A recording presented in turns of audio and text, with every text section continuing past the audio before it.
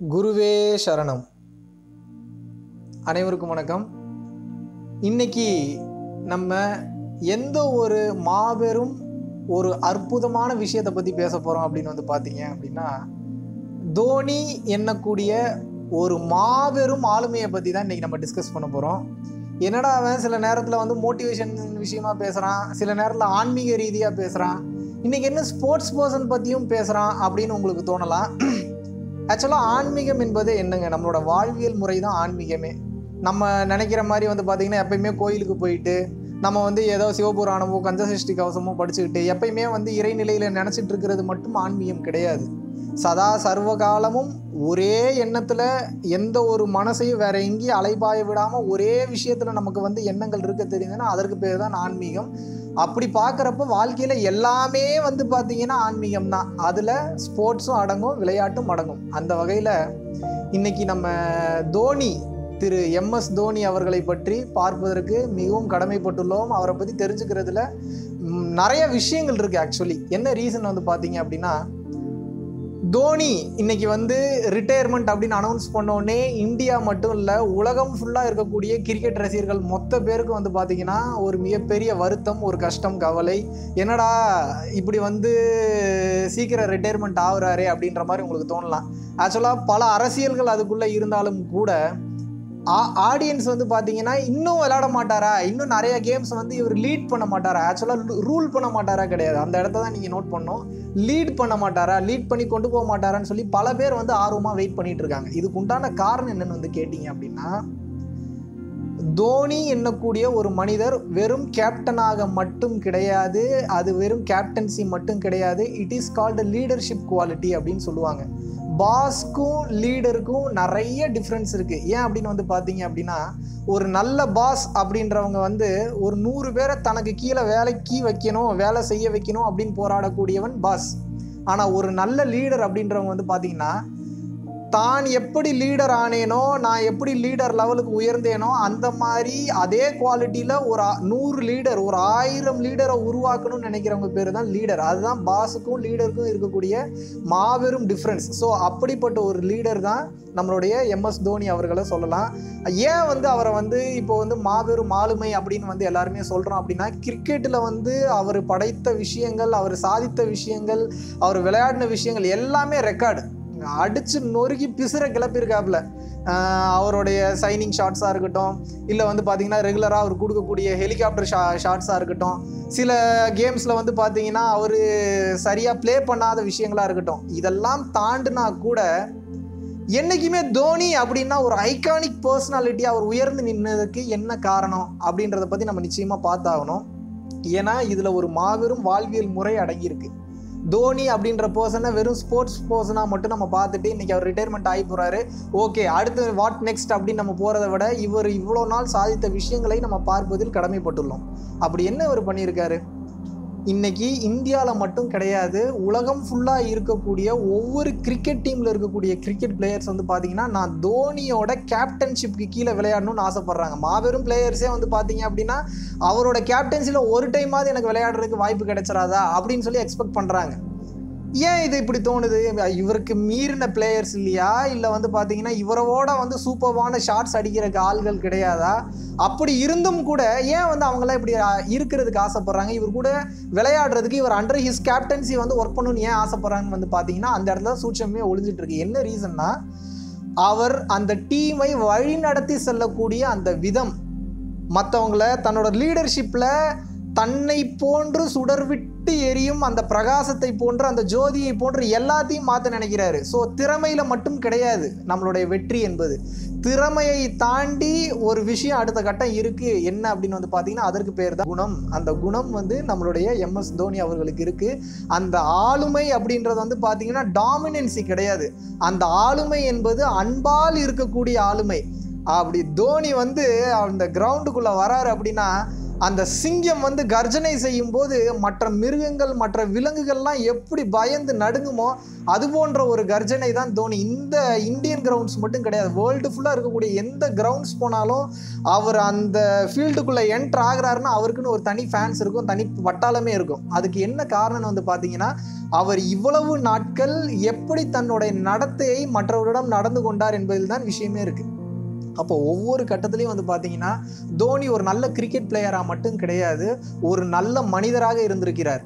நல்ல மனிதராக இருக்கிறதுனால தான் இன்னைக்கு அவரோட ரிட்டையர்மெண்ட்டை பல மனிதர்களால் பல ரசிகர்களால் ஏற்றுக்கொள்ள முடியல. நல்ல மனிதரை தாண்டி சுயநலம் இல்லாது பொதுநலத்தை எதிர்பார்க்கக்கூடிய தன்மை. அதுதான் ஒரு கேப்டனுக்கு இருக்கக்கூடிய மிக மிக ரொம்ப தேவைப்படக்கூடிய ஒரு குணம். ஏன் அப்படின்னு வந்து கேட்டிங்க அப்படின்னா இப்போது எனக்கு என்கிட்ட பவர் இருக்குது நான் நினச்சா எப்போ வேணாலும் இறங்கலாம். நான் நினச்சா யாரை வேணாலும் என்னோட சுயநலத்துக்காக இறக்கி ப்ளே பண்ண வைக்கலாம். யாருக்கு வேணாலும் என்கிட்ட பவர் இருக்கிறதுனால யாரை வேணாலும் வந்து பார்த்திங்கன்னா ரூல் பண்ண வைக்கலாம் ஒரு டீமில் ஆனால் அந்த பவர் என்பது responsibility it is not an opportunity அப்படின்னு உணர்ந்தவர் தான் நம்மளுடைய தோனி அவர்கள். அதனால தான் சுயநலம் பாராமல் பொதுநலத்தை மட்டும் கருத்தில் கொண்டு டீம் மட்டும் ஜெயிக்கணுன்றதுக்காக பல இடங்களில் வந்து பார்த்தீங்கன்னா தன்னை முன்னிறுத்தி கொள்ளாமல் நம்மளுடைய பிளேயர்ஸை முன்னிறுத்தணும். அவங்களுக்கும் வாய்ப்பு கொடுக்கணும்னு சொல்லி நிதர்சனமான உண்மைகளை பார்த்தவர் தோனி. அது மட்டும் கிடையாது. ஏன் தோனி இப்படி ஒரு மாபெரும் ஒரு சூப்பரான ஒரு பிளேயர் மட்டும் இல்லை ஒரு ஒரு கரிஷ்மேட்டிக் ஒரு பர்சனாலிட்டியாக இருக்கிறாருன்னு வந்து பார்த்தீங்க அப்படின்னா அவருடைய அந்த கேரக்டரில் இருக்கக்கூடிய நுணுக்கமான நுட்பமான விஷயங்கள். அதை நீங்கள் நோட் பண்ணியிருந்தீங்கன்னா தெரியும். தோத்தாலும் ஜெயிச்சாலும் எப்பயுமே வந்து பார்த்தீங்கன்னா ஒரே மாதிரியான நடுநிலையான தன்மை. ஆன்மீகத்தில் இது ரொம்ப ரொம்ப முக்கியம். எதுன்னு வந்து பார்த்தீங்கன்னா சில நேரத்தில் வந்து நீங்கள் மிகப்பெரிய வெற்றிகள் இருப்பீங்க. சில நேரத்தில் மாபெரும் தோல்விகள் இருப்பீங்க. அப்போ தோல்வியை கண்டு துவளாமலும் வெற்றியை கண்டு மயங்காமலும் எவன் ஒருவன் இருக்கிறானோ எவன் ஒருவன் சமநிலையில் இருக்கிறானோ அவனை மட்டும்தான் இந்த உலகம் வந்து பார்த்தீங்கன்னா அப்படி வியந்து பார்க்கும். அவன்கிட்ட நிறைய விஷயங்களை கற்றுக்கணும்னு நினைக்கிறேன் ஏன்னா அந்த நடுநிலைக்கு அந்த நியூட்ரல் அந்த நியூட்ராலிட்டின்னு சொல்லுவாங்க. அந்த நியூட்ராலிட்டிக்கு அவ்வளவு பவர் இருக்கு. தோனி என்பவர் அப்பேற்பட்ட ஒரு மாபெரும் சமாச்சாரம். சும்மா சாதாரண விஷயம் கிடையாது. அவர் வந்து ஒரு மேட்ச்சில் நல்லா ஆடலன்றதுக்காக இம்மிடியட்டாக வந்து ரசிகர்கள் போய் அவரோட வீட்டில் கல் அவரோட உருவ பொம்மையை எரிக்கிறாங்க. இந்த மாதிரியான சில விஷயங்கள் நடக்குது. அதே ரசிகர்கள் வந்து பார்த்தீங்கன்னா அவர் நல்லா ஆடிட்டார் அப்படின்னோடனே அவரை வந்து தூக்கி வச்சு கொண்டாடுறாங்க. ட்விட்டரில் ஃபேஸ்புக்லாம் பாசிட்டிவாக பேசுகிறாங்க நிறைய நியூஸ் வருது. இப்படி மாறி மாறி வந்து கொண்டே இருப்பதனால அவர் எதற்குமே வந்து பார்த்தீங்கன்னா மயங்கவில்லை. மயக்கம் என்பதுதான் மிக சரியான வார்த்தையாக இருக்க முடியும். ஏன்னா அந்த ஒரு மயக்கத்துக்குள்ள அந்த போதைக்குள்ள நம்மளை பத்து பேர் புகழ்ந்து பேசுறாங்கன்ற அந்த போதைக்குள்ள போயிட்டோம்னாவே நம்மளோட ஸ்டெபிலிட்டி அந்த நியூட்ராலிட்டின்றது மிஸ் ஆகிடும் அது எப்போ மிஸ் ஆகுதோ வாழ்க்கையில் நம்மளால அடுத்த கட்டம் நோக்கி போகவே முடியாது. அந்த இடத்துலயே வந்து பார்த்தீங்கன்னா ஒரு குப்பை கூலம் போல நம்ம தேங்கி விடுவோம். அதை ரொம்ப ரொம்ப புரிந்தவர் தான் தோனி. அதனால தான் வந்து பார்த்தீங்கன்னா எதை பற்றியும் கவலைப்படாமல் தோல்வியாக இருந்தாலும் சரி வெற்றியாக இருந்தாலும் சரி அதை பற்றி துளியளவும் எண்ணத்தில் கொள்ளாமல் இது இன்னைக்கு இருக்கும் நாளைக்கு போகும். எதுவுமே நிரந்தரமற்ற வாழ்க்கை என்பதில் மிகவும் தெளிவாக மிகவும் சூட்சமமாக மிகவும் நுட்பமாக இருந்தவர் தோனிகள். அவரை நம்ம வெறும் கிரிக்கெட் பிளேயராக மட்டும் பார்க்க முடியாது வெறும் மனிதாபிமானியாக மட்டும் நம்ம பார்க்க முடியாது ஒரு நல்ல லீடராக மட்டும் பார்க்க முடியாது. ஒரு நல்ல ஃபிலாசபர் இதெல்லாம் தாண்டி அவரை பற்றி நம்ம ரொம்ப கிளியராக நம்ம அவர்கிட்ட நோட் பண்ண வேண்டிய விஷயம் என்ன அப்படின்னா இந்த உலகத்தில் வாழக்கூடிய ஒவ்வொரு மனிதருக்கும் ஒரு நல்ல எடுத்துக்காட்டாக வாழ்ந்திருக்கிறார். அந்த கிரிக்கெட் அப்படின்ற ஒரு கேம் வந்து பார்த்தீங்கன்னா அவருக்கு வந்து அது ஒரு மீடியம் தான். ஆனால் இன்னைக்கு கிரிக்கெட்டே இல்லைன்னா கூட அவரோட குவாலிட்டியில் எந்த விதமான மாற்றமும் இருக்கவே இருக்காது. கற்பூரம் மாதிரி சிம்பிளாக சொல்லணும்னா யார் கொளுத்துனாலும் ஒரே ஜோதி தான் அவர். அப்பேற்பட்ட ஒரு தன்மையில் இருந்தவர் நம்மளுடைய தோனி அவர்கள். இதில் நீங்கள் இன்னும் புரிஞ்சுக்க வேண்டிய விஷயம் என்னென்னா இன்னைக்கு இத்தனை பேர் வந்து வருத்தப்படுறாங்க இன்னும் கொஞ்சம் விளையாடணும். இவர் வந்து விளையாடி இருந்தால் நல்லா இருக்குமே இதெல்லாம் நினைத்து நினைக்கிறார்கள். அதுக்கெல்லாம் என்ன காரணம் வந்து பார்த்தீங்கன்னா ஃபேன்ஸை சம்பாதிச்சதெல்லாம் ஒரு பக்கம் இருக்கட்டும். ஆனால் ஃபேன்ஸ் கிட்ட இருக்கக்கூடிய ரெஸ்பெக்டை சம்பாதிக்கிறதுன்றது சாதாரண விஷயம் கிடையாதுங்க. ஏன்னா ஒரு எக்ஸாம்பிளுக்கு இப்போ நான் சொல்கிறேனே இப்போது ஒரு சாதாரண நகைச்சுவை நடிகர்களுக்கு கூட நம்ம ஃபேன்ஸ் ஆகலாம். ஒரு சாதாரண ஆக்டர்ஸ்க்கு கூட நம்ம ஃபேன்ஸ் ஆகலாம். வில்லன் நடிகருக்கு கூட நம்ம ஃபேன்ஸ் ஆகலாம். ஆனால் நம்ம யாருக்கு ஃபாலோவராக இருக்கோமோ அவங்களுடைய ரெஸ்பெக்டை கெயின் பண்ணுறதுன்னு இருக்குது பார்த்தீங்களா அது வந்து சாதாரண விஷயமே கிடையாது. ஏன்னா ரெஸ்பெக்ட்ன்றது அவ்வளோ சீக்கிரம் வந்துடவே வந்துடாது. அந்த ரெஸ்பெக்ட் எப்போ வரும்னா நாம் நடந்து கொள்ளக்கூடிய அந்த நடத்தையில் அந்த குணத்தில் மட்டும்தான் உள்ளது. எந்த சுச்சுவேஷனும் நடுநிலை மாறாமல் இருக்கக்கூடிய பர்சன்ஸ் மட்டும்தான் அந்த மாதிரியான உயர்ந்த இடங்களுக்கு செல்வார்கள். உயர்ந்த இடத்திற்கு சென்றாலும் கூட யார் எகைன்ஸ்டாக அவங்களுக்கு செயல்பட்டால் கூட அது அவங்களுக்கு பாதிக்காது. ஸோ தோனி கிட்ட நம்ம கற்றுக்க வேண்டிய விஷயம் என்பது என்ன என்று கேட்டிங்கன்னா அந்த ஆளுமையில் இருக்கக்கூடிய அந்த நடுநிலைத்தன்மை அந்த நடுநிலை தன்மை தான் அந்த நியூட்ராலிட்டின்றது இட் மேட்டர்ஸ் அலாட் வார்த்தைகள்லாம் அதை நம்ம வந்து சொல்லிடவே முடியாது. அப்பேற்பட்ட ஒரு பொக்கிஷம் அவர்கிட்ட இருந்தது. ஸோ வாட் நெக்ஸ்ட் இப்போ வந்து தோனி இல்லை. இப்போ அதுக்காக கிரிக்கெட் நடக்காமல் போயிடுமா? அப்படிலாம் வந்து கிடையாது. கிரிக்கெட்டுன்றது வந்து பார்த்தீங்கன்னா ஒரு சூப்பர்பான கேம் இதை கடந்து வந்து போயிட்டே இருக்கும். அடுத்து ஒரு பிளேயர்ஸ் வருவாங்க. தோனி என்பவர் ஒரே தோனி தான் ஒரு தோனி தான் ஒரு பாட்ஷா தான் ஒரு தனி ஒருவன் தான் ஒரு பகவத்கீதை தான் ஒரு திருக்குரான் தான் ஒரு திருக்குறள் தான். அந்த மாதிரி தான் தோனி என்பவரும் ஒரே ஒரு தோனி தான். இதற்கப்புறம் யார் அவரோட திறமைசாலியாக வந்தாலும் கூட அவருக்கு ஈக்குவலான அதே தன்மையில் இருப்பார்களா என்று சொன்னால் நிச்சயமாக இருப்பதற்கு வாய்ப்பே கிடையாது. ஏன் அப்படின்னா இவரோட பெட்டராக இருக்கலாம். இல்லை இவரோட கம்மியாக இருக்கலாம். ஆனால் இவரை மாதிரியே இருப்பாங்களான்னு கேட்டால் நிச்சயமாக கிடையாது. அதுதான் தோனி. அதுதான் ஒவ்வொருத்தருக்குள்ளேயும் இருக்கக்கூடிய தன்மை. ஸோ இன்னைக்கு தோனி தனக்குள்ளே இருக்கக்கூடிய திறமை என்ன அப்படின்றத கண்டுபிடிச்சிட்டார். அந்த ஸ்வதர்மான் ஆல்ரெடி ஒரு வீடியோவில் நான் பேசியிருப்பேன். அதை கண்டுபிடித்ததனால் அவர் தனக்கு எது நல்லா வரும்னு பார்த்து அந்த ஃபீல்டில் வந்தார். இன்னைக்கு வந்து கொடி கட்டி பறக்கிறாரு. இன்னைக்கு ரிட்டையர்மெண்ட் ஆகி போனாலும் கூட அவருக்குன்னு சம்பாரிச்ச ஃபேன் பேஸ் இருக்கிறது இருக்கிறது தான் அவருக்குன்னு இருக்கக்கூடிய ரெஸ்பெக்ட் இருக்கிறது இருக்கிறது. ஆனால் அவர் எதையுமே கண்டுகொள்ள போவதில்லை. அவர் கண்டுகொள்வதெல்லாம் ஒன்றே ஒன்று தான் சரி ரசிகர்கள் இருக்காங்களா? நாலு பேருக்கு நல்லது செய்கிறோமா நாலு பேரை என்டர்டெயின் பண்ணுறோமா வாட் நெக்ஸ்ட் அடுத்து நம்ம என்ன பண்ண போகிறோம் அப்படின்றதுல அவர் அவருடைய வாழ்க்கையில் தெளிவான பாதையில் சென்று கொண்டிருக்கிறார். இந்த இந்த மாதிரியான ஒரு மென்டாலிட்டி நிச்சயமாக தனி மனிதனை மட்டுமல்ல அவரை சார்ந்து இருப்பவர்களையும் ஹெல்த்தியாக வச்சுருக்கோம்.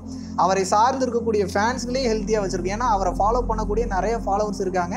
நம்ம கற்றுக்கொள்ள வேண்டியது அவருடைய அந்த ஸ்டெபிலிட்டி அவருடைய அந்த கண்டினியூவான உழைப்பு இதையெல்லாம் தாண்டி அந்த லீடர்ஷிப் குவாலிட்டி இதை நம்ம ஃபாலோ பண்ணோம்னா நிச்சயமாக நம்மளோட லைஃப்லேயும் நல்ல இடத்துக்கு வருவோம். இதை கடந்து இந்த உலகம் நமக்கு சொல்லக்கூடிய விஷயம் தோனி அவர்களோட ரிட்டையர்மெண்ட்டில் ஒரே ஒரு விஷயம்தான் நீ நல்லா நோட் பண்ணீங்கன்னா தெரியும். என்னன்னா எப்பேற்பட்ட கொம்பாதி கொம்பனாக இருந்தாலும் கூட அது எந்த ஃபீல்டாக இருந்தாலும் கூட வந்துட்டு வந்துட்டு போயிட்டே இருப்பாங்க. இந்த உலகம் வாட் நெக்ஸ்ட் அடுத்து என்ன அடுத்து என்ன அடுத்து என்னன்னு பார்த்துட்டு போயிட்டே இருக்கும். தோனி வாழ்ந்தது ஒரு சகாப்தம். அவர் வாழ்ந்து விட்டார். வாழ்ந்து விட்டு முடித்து விட்டு அடுத்த கட்டத்தை நோக்கி அவர் பயணம் செய்ய ஆரம்பிச்சிட்டார். நம்ம இவ்வளோ நாள் அவரோட ஃபாலோவர்ஸாக இருந்தோம். அவரோட ரசிகராக இருந்தோம். இவ்வளோ நாள் வாட்ச் பண்ணிட்டு இருந்தோம். ஓகே அவர் எப்படி தன்னுடைய ஃபீல்டில் தன்னோட ஸ்வதர்மா என்னன்றதை தெரிஞ்சுட்டு வாழ்ந்து முடித்தாரோ அதுபோல் ஒவ்வொருவரும் உங்களுக்குன்னு ஒரு ஸ்வதர்மா இருக்குது உங்களுக்குன்னு பர்பஸ் ஆஃப் லைஃப் அப்படின்றது ஒன்று இருக்குது அது என்ன பர்பஸ் அப்படின்றத கண்டுபிடிச்சி உங்களோட வாழ்க்கையும் நீங்கள் வாழ்ந்து சந்தோஷமாக மற்றவர்களுக்கு எடுத்துக்காட்டாக முடிக்க வேண்டும் என்பது ஒவ்வொரு மனிதனின் தலையாய கடமை என்பதை சொல்லிக்கொண்டு மீண்டும் ஒரு நல்ல வீடியோவில் உங்கள் அனைவரையும் வந்து சந்திக்கிறேன். நன்றி வணக்கம்.